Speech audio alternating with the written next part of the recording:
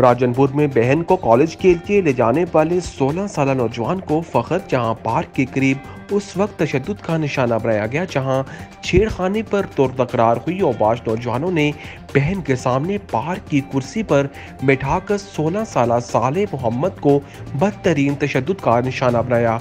और बुरी गालियाँ देते रहे मुलजमान मौका से फरार हो गए।